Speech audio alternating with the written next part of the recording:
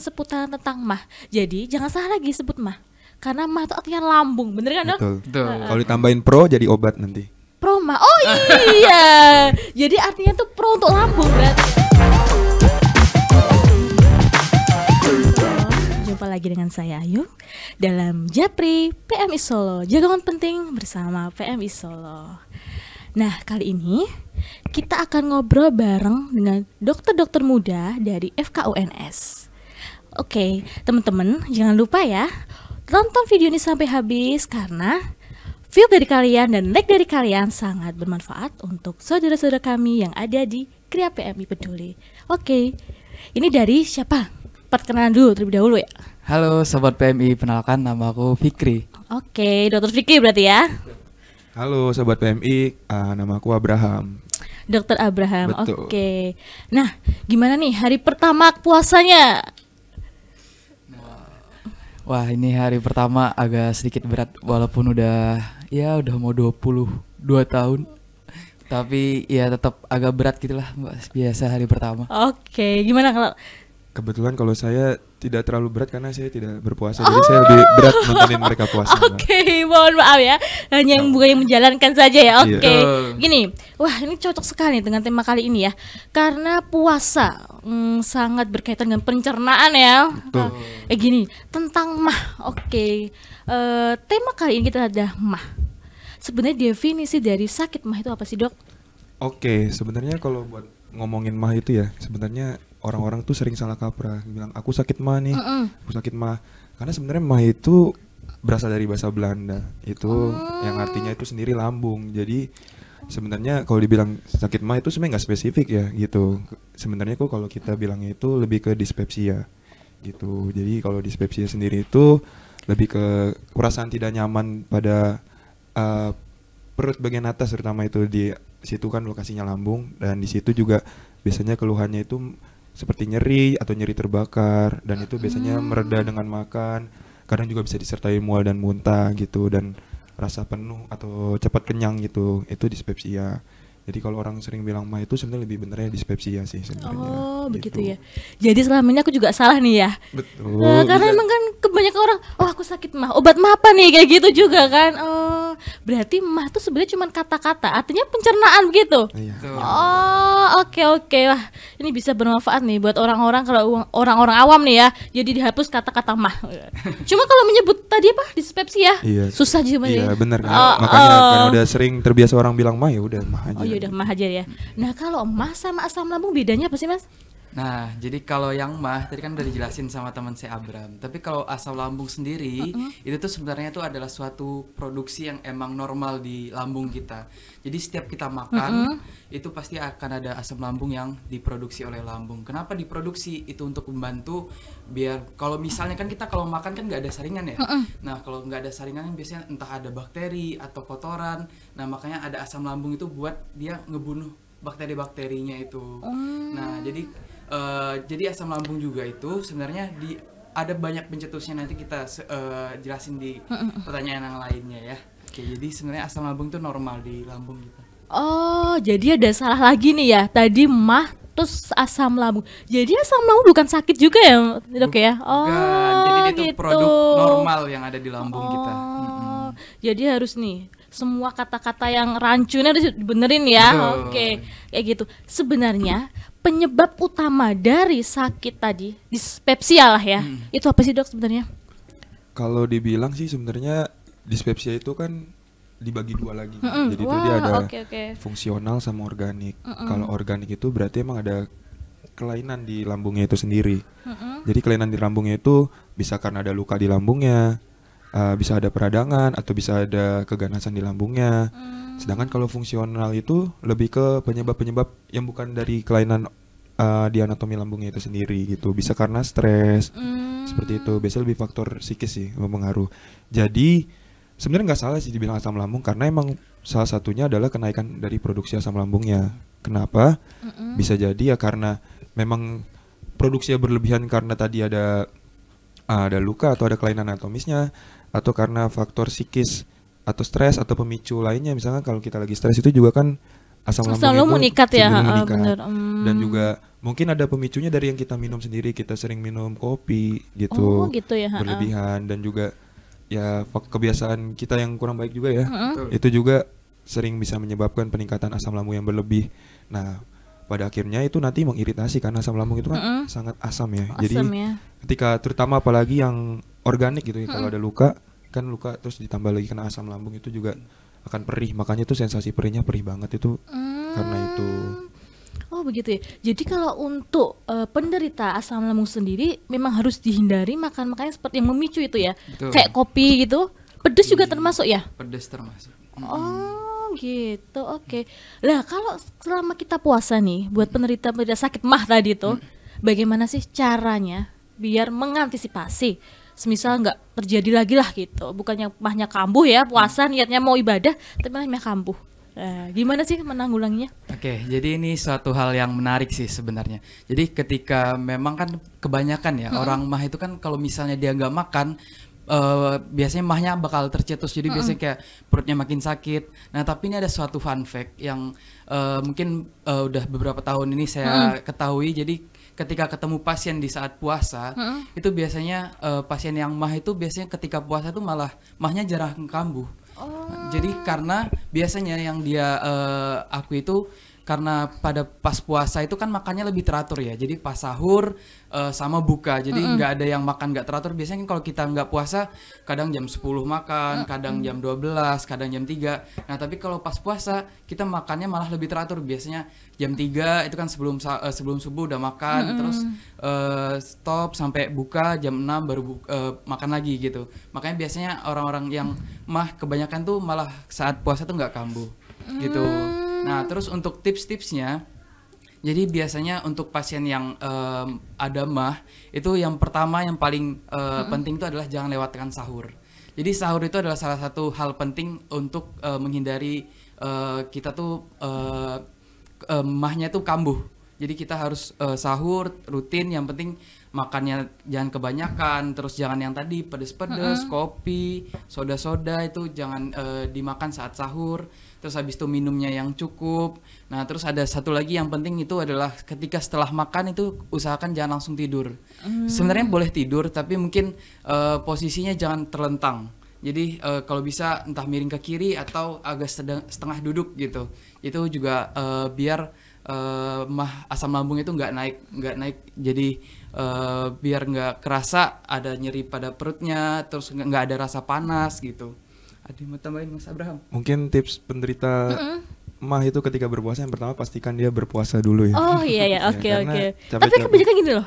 Ah, aku sakit deh nggak puasa deh. Gitu kan Nah, banyak betul. ya. Sebenarnya kan itu bukan jadi pantangan ya. Dan kedua itu tips penderita mah ketika berpuasa itu ya pastikan dia punya keluhan mahnya itu karena ya sebenarnya semuanya ini nggak masalah gitu kalau dia nggak sakit mah gitu ya. Gitu.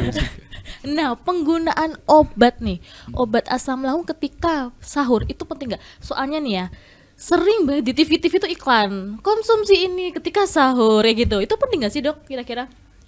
Penting karena sebenarnya obat mah itu juga kan eh, terutama dikonsumsinya kan biasanya kan sebelum makan karena tujuannya itu untuk Melapisi lambung ya, Betul, bukan? Oh. dan juga menetralisir dari lambung asam lambung itu sendiri sehingga nanti ketika makan uh, produksinya tidak berlebih dan juga tidak mengiritasi kayak gitu. Jadi kenapa penting ya karena terutama kan berpuasa itu juga kan ya uh, dalam sebulan itu ada suatu siklus yang diubah gitu. Ketika makannya uh, dari sebelumnya makannya entah terat nggak teratur jamnya kayak gitu tiba-tiba jadi makan uh, sahur dan juga ketika setelah buka gitu kan jadi ada harus ada juga lah adaptasi terutama bagi yang penderita mah yang rutin minum obat seperti itu perlu sekali itu untuk obatnya diminum secara teratur begitu. Oh gitu. Oh soalnya dulu tuh saya emang penderita mah juga sih dok. Cuman kok bisa sendi- sembuh sendiri ya? Hmm, kalau menurut saya sih nanti mungkin uh, dari Fikri bisa nambahin ya Oh, itu iya. juga karena mungkin mahnya itu sendiri Bukan yang kronis eh, ya bukan, ya? yang ya terlalu tingkat keparahan juga Oh, oh. belum parah dan juga masih bisa di manajemen dengan uh, lifestyle gitu. Jadi kan Oh, oke, utamanya oke. sendiri kan lifestyle modification atau pola hidupnya sendiri diperbaiki. Terutama tadi kayak manajemen stres, tidurnya juga yang teratur, dan juga konsumsi-konsumsi pedas kopi itu juga dikurangin. Sebenarnya kan bukan nggak boleh, tapi dikurangin kalau bisa kayak gitu. Apalagi saat puasa gini ya, apalagi Iya, sahur sahur. betul. Jadi sebenarnya mah lebih gampang bikin sakit mah ya daripada mengobati ya. Betul. betul betul Hmm, kan? Setiap sahur tuh minum kopi dua gelas dua gelas buka kopi itu langsung ya. Buka dengan seblak jeletot, Oh, cabai oh, 10 iya, gitu bener-bener. juga bisa. Langsung apa lah? Langsung. Ah, bener-bener gak jadi gak jadi lebaran dia ya. Oke. Nah, kayak gini nih. Kadang itu orang-orang, ya mesti orang-orang sekitar kita tuh kayak gini loh. Kadang ngerasa perutku sakit, perutku mah gitu ya. Ya, sebut sebut aja di mah lagi. Itu ketika puasa biasanya ciri-cirinya bagaimana? oke Jadi biar nggak salah tangkap nih, biar gimana dok? Oke, jadi sebenarnya kalau untuk eh, ciri-ciri seorang itu lagi kambuh, Ketika puasa, ah, ketika ah. kambuh itu ada beberapa kriteria. Jadi eh, yang saya ketahui itu sebenarnya ada tiga. Itu yang pertama itu biasanya eh, pasiennya itu eh, orangnya itu yang misal eh, sebelumnya emang punya mah, biasanya dia akan ngerasa perutnya itu kayak kembung, sebah. Nah itu salah satu eh, tanda-tanda oh ini kayaknya mahnya udah mau kambuh.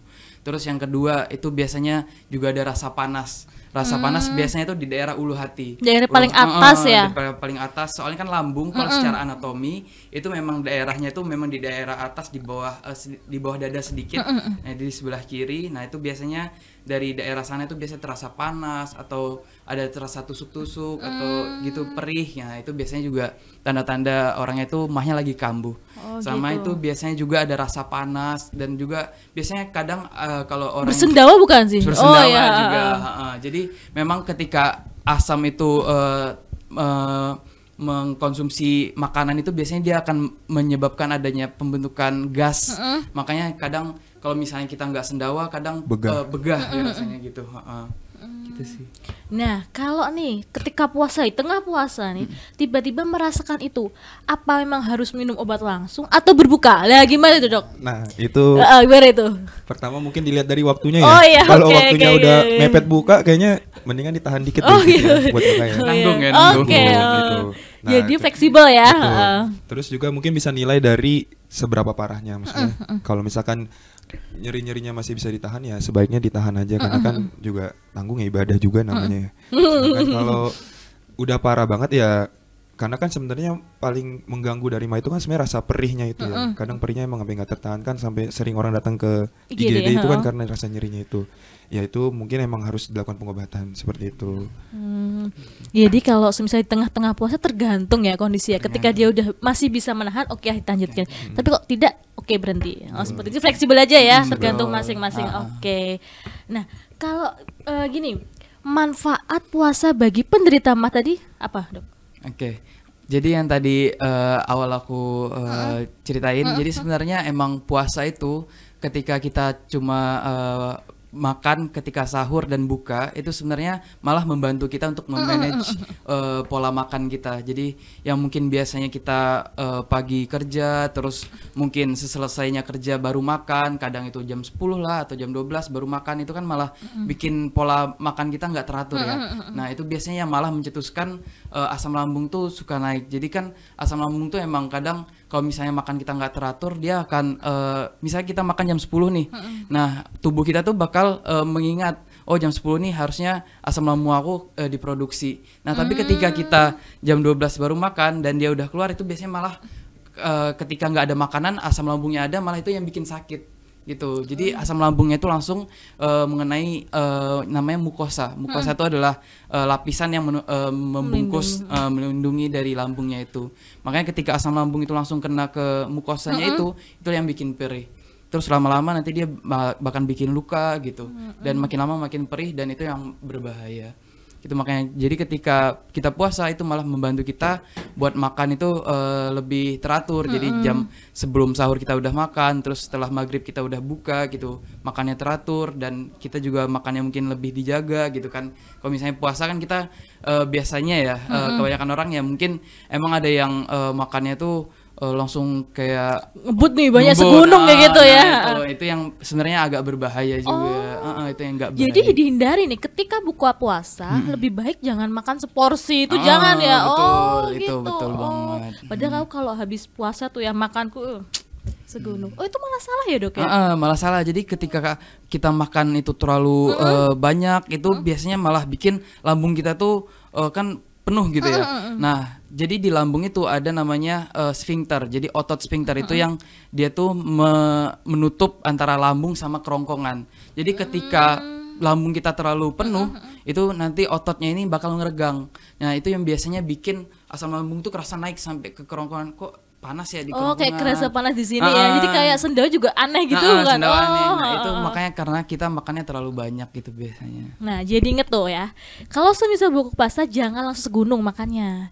Dan jangan buat ada alasan lagi tidak berpuasa karena ada mah. Oke, tadi kan udah ada penjelasan nih sama mas-mas dokter-dokter ini ya. Jadi mah bukan pantangan untuk kita berpuasa. Oke, lanjut lagi ya mas ya. Nah, jadi tadi ada tipsnya juga udah ada, sudah ada manfaatnya sendiri dari puasa tadi ya. Jadi kesimpulannya apa dok?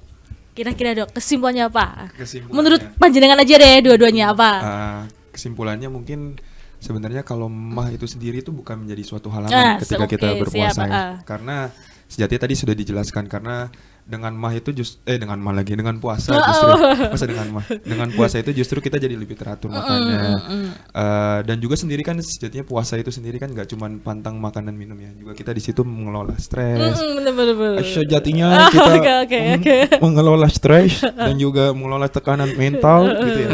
Jadi niscaya salah satu faktor resikonya itu juga jadi dipengurangi gitu loh. Jadi lebih baik lagi dan Ini versi Ramadan ya ini ya. Betul. Eh, jadi versi-versi agak ceramah gimana gitu ya. sekalian Oke. kultum gitu Ah, nanti ah, ya. bener, Nanti bisa ditonton ya, Iya, gitu ya. Di YouTube kami ya, YouTube PMI ya. Dan juga biasanya kan orang yang uh, mah itu juga cenderung emang makannya tidak teratur ya. Pasti juga kadang dia makan jam 7, ntar jam 10 dia makan lagi, terus ntar jam 12 dia ngemil lagi. Kadang-kadang sering kayak gitu ya. Justru kan jadinya uh, ususnya eh usus dalam lambungnya itu tidak dikasih kesempatan buat istirahat terus kan. Makanya produksinya berlebih berlebih berlebih. Oh, gini-gini dok. Kenapa juga eh, orang maaf, orang agak berisi lah ya. Iya. Cenderung gampang kena ini juga ya. Ya, karena juga ya memang lambungnya itu nggak dikasih istirahat gitu kan. Oh gitu. Soalnya kan kebanyakan tuh dari orang-orang dulu, ya kurus nih pasti kena asam lambung. Pernah denger kayak gitu nggak? Bisa pernah dengar Ah, pernah. ah, memang kayak gitu kalau orang dulu kayak gitu. Tapi sekarang ke sini sini kok banyak sih orang yang agak gemoy gemoy gitu kok malah asam lambung kok bisa sampai kayak gitu. Oh jadi emang kayak gitu ya? Karena faktor resikonya yang luas tadi itu kan, gak cuma psikis dari kebiasaan pola makan juga jadi kayak gitu. Karena karena jadinya kan setelah lewat puasa itu kan jadi lebih diatur ya, kayak gitu ya. Jadinya kan ada waktu tuh jeda buat si lambungnya ini istirahat. Terutama apalagi kalau yang ada luka-luka tadi kan jadinya kan karena asam lambungnya juga lebih teratur, jadi kan gak ada makanan yang masuk dan bergesekan dengan lukanya itu, makanya jadinya kan karena puasa dia jadi lebih enak gitu loh. Karena dibanding dia ketika tidak berpuasa dia makan terus, masuk terus makanan bergesekan dengan lukanya, jadinya mengurangi malah- perih ya Betul. sampai ada peradangan itu juga ya. Iya. Hmm, tapi perdarahan juga tuh ada ya. Aduh, oke oke oke. Kau tambahin mungkin ah? Mungkin Ah, ah, oh gitu. Nama kesimpulan satu Ah, lagi. apa? Yang penting itu kalau bisa kita emang punya dari riwayat mah, yang penting tuh jangan stres. Oke, stres penting ya. oke, Ah. ah. Jadi kadang kan orang-orang yang mah eh, kayak selalu mikirin, aduh gimana ya mau puasa nih gitu. Eh, nanti mahku kambuh. Eh, dipikir mahku dulu, gini. Ah, nah. Nah, ke- ketika kita terlalu banyak mikir, terlalu kita terlalu banyak eh, namanya anxious lah kalau bahasa sekarang. Anxious. Oh, iya. iya. Itulah yang eh, bakal mencetuskan tadi yang dijelasin sama dokter Abraham tadi kan di awal Eh, karena dispepsia itu ada yang eh, fungsional sama organik. Jadi yang kalau misalnya yang fungsional tadi kan yang dicetuskan oleh eh, stres ya. Ketika kita dalam keadaan stres, dalam keadaan eh, yang tadi cemas gitu, mau puasa gimana. Nah, itulah yang bakal mempercepat pencetus eh, mah kita kambuh gitu. Jadi makanya kalau bagi sobat-sobat PMI eh, kalau misalnya emang ada riwayat mah jangan stres dulu jalanin aja Bismillah tawakal Insya Allah berkah Hmm, niat karena Allah ya. Oke. Amin. Ingat, para anak muda hilangkan galaumu. Sayangi. Lambung. Oke. Sila. Ah, Oke. minum. Yakult Iya, Pak. Usus, usus. ah, ah. Masuk produk ya, masuk produk ya. ah. Hmm, Dia apa endorse, endorse. Endorse. Oke. Jadi tadi perbincangan kita dengan dokter-dokter ganteng ini ya, oke, em, menjelaskan seputaran tentang mah. Jadi jangan salah lagi sebut mah. Karena mah itu artinya lambung, bener kan dok? Betul. Betul. Kalau ditambahin pro jadi obat nanti. Proma. Oh iya. Jadi artinya tuh pro untuk lambung Iya, berarti ya. betul. Oke, benar. Jadi gini, eh, hilangkan kata mah. Oh, bukan hilangkan sih ya. Cuman kalau yang udah tahu ganti aja dengan apa? Asam lambung menaik, meningkat gitu ya. Boleh. Oh, Cuma kan panjangan ya. oh iya, eh. Dispepsia juga. Eh, Kurang belibet. gitu ya. Iya. Gimana ya, Mbak? Apa kita usul bukan nama baru? Oh iya, gitu. Ya. Nanti Jadi nama baru ya. eh, Jadi gini, eh, mah tadi artinya adalah lambung sendiri ya. Jadi mungkin kalau sakit, oh bisa sakit mah bisa, sakit, Sakit lambung. Oke, mah. ah, benar-benar. Oke, jadi berpuasa bukan menjadi halangan untuk eh, untuk teman-teman yang semisalnya dia ada sakit mah jangan jadikan halangan. Justru dengan berpuasa bisa eh, mengontrol kembali jadwal-jadwal makan yang kita kadang kurang teratur jadi nanti malah bisa mengurangi gejala-gejala Gejala eh, eh, gejala-gejala mah tadi ya. Semisal di tengah perjalanan mah kalau semisal udah rasa nggak enak perut nih kuat lanjutin puasa. Kalau enggak berobat. Oke ah, ah, berobat. ah, iya. Jadi jangan takut untuk berpuasa bagi penderita sakit mah. Eh, sekian dari kami. Semoga puasa kali ini berkah ya. Lancar sampai nanti azan maghrib. Ya Ah, Rabbal ah, ah, pahala kita melimpah ya. Ah, doa-doa kita dijabah semua ya oke. Amin. Ah. Amin. amin. Oke terima kasih. Jangan lupa ya tonton video ini sampai selesai dan like. Oke bye bye